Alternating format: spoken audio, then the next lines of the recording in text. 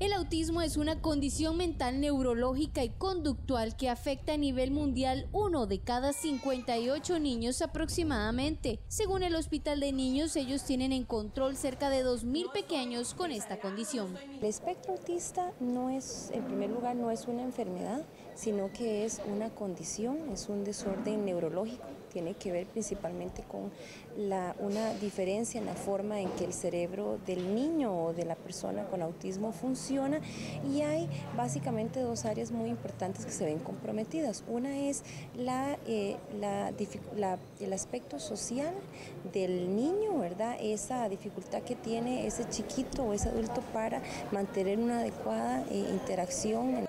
El diagnóstico de autismo se da cerca de los 3 o 4 años de edad. Estos pequeños pueden presentar síntomas conductuales como no mantener contacto visual, no entender el doble sentido y tener crisis de furia si algo se sale de su rutina.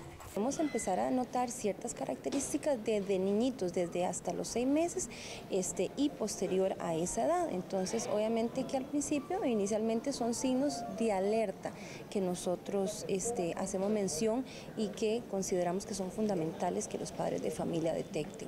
Este 2 de abril se conmemora el Día Mundial del Autismo y de parte de los padres de familia con pequeños con esta condición se le pide a la población en general mayor inclusión y amor.